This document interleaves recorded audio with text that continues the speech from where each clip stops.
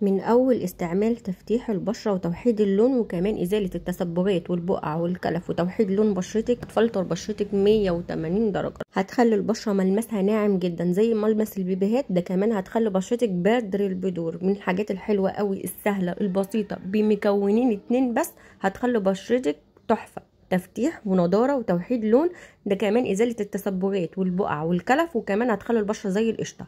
ما تنسيش تعملي like وشيري الفيديو لأصحابك علشان يستفادوا واشتركي معايا في القناة وقولي لي بتتابعيني من أي بلد وصلي على النبي في الكومنتات وما تنسيش تفعلي الجرس. يلا بينا نشوف الوصفة القمر دي. هحتاج معايا وحدة بطاطس صغيرة أو حجم متوسط على حسب الكمية اللي انت هتعمليها وهتقشريها وتكوني غسلاها كويس جدا علشان خاطر ما يبقاش فيها أي طينة أو أي أتربة عشان هنحطها على البشرة. أهم حاجة نبدأ نقطعها قطع صغيرة جدا مكعبات كده صغيرة عشان تسهل عليكي في السوا وتبقى سهلة جدا. أنا هقطع البطاطساية بتاعتي الصغنونة دي مكعبات كده زي ما أنتوا شايفين. البطاطس من الحاجات الجميلة جدا اللي بتوحد لون البشرة وبتفتح التسبغات والبقع والكلف والنمش ومليانة بالفيتامينات اللي هتفيد بشرتك جدا وكمان هتفيد بشرتك كويس جدا. ده غير إن كمان هتوحد اللون وهتشيل أي تسبغات زي ما قلت لكم وأثر الحبوب وأثر الشمس وكل حاجة ممكن تتخيليها لأن البطاطس قوية جدا في التفتيح. وكمان لو عندنا هالات سودا هتخلي البشرة تحفة من غير هالات سودا. أنا قطعتها مكعبات صغيرة زي ما أنتوا شايفين. هنا هبدأ إن أنا أسلقها. هضيفها في أي حاجة أسخن فيها فيها كوباية مية من الحنفية وابدأي تضيفي فيها مكعبات البطاطس.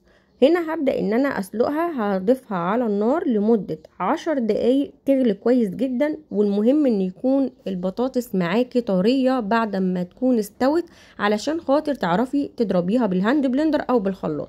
فأنا رفعتها على النار وخدت معايا حوالي ربع ساعة في الغليان لحد ما بقت معايا مستوية. هنا بقى هبدأ إن أنا أصفيها زي ما أنتوا شايفين. أنا طبعا هحتاج المية بتاعة البطاطس وهحتاج البطاطس. فهنا أنا صفيتها والمية هنا أنا هحتاجها طبعا مش هرميها. بصوا شكلها عاملة إزاي. هنا بقى هجيب معايا كوباية تانية وهبدأ أضيف فيها قطع البطاطس بتاعتي وهي سخنة كده بالشكل اللي أنتوا شايفينه ده. ما تستنيش إنها تبرد علشان خاطر تتضرب وتتطحن معاكي بكل سهولة وتبقى كريمة ناعمة خالص.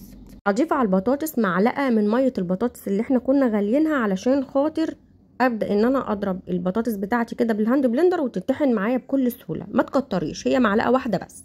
وهبدأ إن أنا أضربهم كويس قوي لحد ما يبقى معايا ناعم خالص.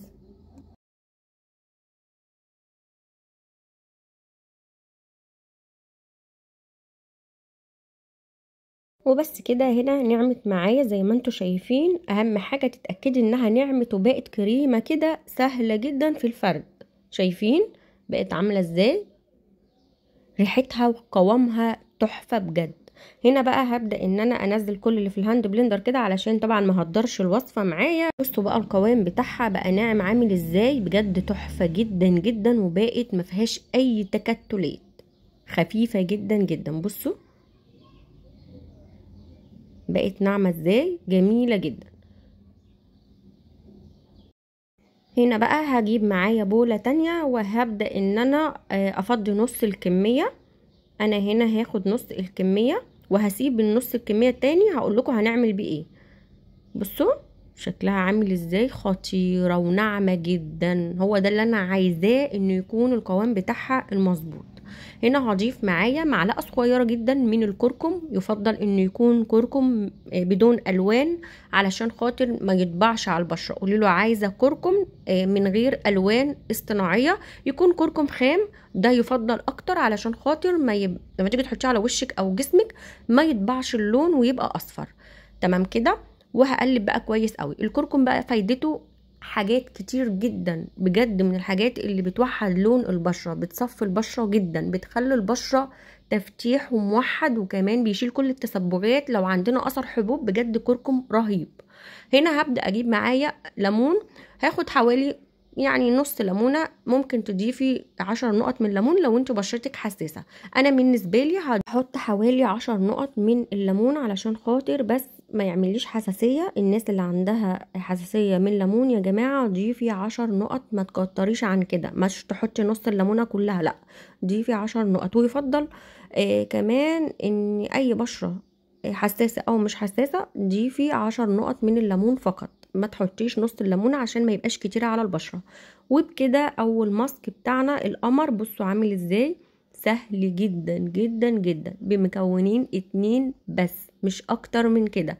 نيجي بقى للكمية التانية. بصوا هفضيها بقى في طبق علشان تبقى سهلة برضو معانا وتشوفوا المكونات الإضافية فيها. وكل دي مكونات بسيطة جدا جدا جدا غير إن نتيجتها تحفة.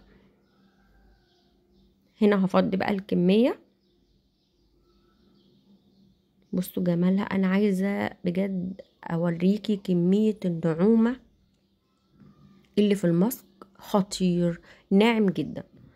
هضيف هنا معلقة من الزبادي أو الياغورت وده من الحاجات اللي بترطب البشرة جدا جدا جدا. كمان بيفتح البشرة جدا. ده غير إنه كمان بيقلل المسامات الواسعة بينظف المسامات الواسعة بيرطب البشرة بينظفها. بجد حلو قوي الزبادي. تمام كده؟ قلبيهم بقى كويس قوي لحد ما يبقى ناعم خالص. وتحسي إن الزبادي اختفى كده معاكي في الوصفة؟ وده قوامها؟ بصوا جميلة إزاي. هبدأ برضو هعصر حوالي عشر نقط من الليمون. طب أنا ينفع أستخدم الوصفتين؟ آه ممكن تستخدمي الوصفتين عادي جدا. ممكن دي مرة ودي مرة. ممكن تعملي الكمية وتشيليها في التلاجة وتستخدمي دي مرة ودي مرة. بجد حلوين قوي قوي قوي بصوا القوام بقى بتاعها بعد ما حطينا الليمون. مكونات سهلة جدا وخفيفة جدا جدا وكمان نتيجتها روعة. بجد تحفة. تعالوا نجربهم مع بعض. بصوا النعومة بصوا الجمال. أنا حاولت أوريها لكم عن قرب بجد. قد إيه ناعمة قد إيه جميلة قد إيه نتيجتها حلوة قوي قد إيه مكوناتها خفيفة وسهلة وبسيطة جدا جدا. كل اللي إحنا هنعمله بقى في طريقة استخدامها سهل قوي. أهم حاجة نكون غاسلين وشنا كويس جدا جدا ما يكونش فيها أي أتربة يكون البشرة نظيفة متهيئة للماسك بتاعنا. وهبدأ إن أنا أفرد الماسك ده على بشرة كاملة. ممكن كمان أستخدم الماسك في الجسم لو أنت حابة تستخدميه في منطقة الأندر أرم منطقة البيكيني أي مكان فيه غمقان بس اللي هي بالكركم. أحسن بكتير للأماكن الحساسة. إنما اللي هي بالزبادي دي جميلة وخفيفة على البشرة. تعالوا نجربهم ونشوف قوامهم على الإيد. بصوا ناعمة إزاي؟ خطيرة. كل اللي انت هتعمليه هتفرديها على بشرة نظيفة وتسيبيها تنشف لمدة ربع ساعة نص ساعة وابدأي افركيها. كل ما تفركي كل ما هتكون البشرة ناعمة كل ما هيكون البشرة ما فيهاش أي جلد ميت هتنضف البشرة جدا هتفتح البشرة هتوحد اللون بجد حلو قوي. واللي بالكركم جميلة قوي قوي قوي ممكن تستخدميها للوش وتستخدميها للجسم بجد نتيجتها مية في المية مضمونة. افرديها على بشرة كاملة وابدأي سيبيها تنشف كويس جدا واستخدميها مرتين في الأسبوع. يا رب يكون عجبتكم متنسوش تعملوا لايك وباي باي.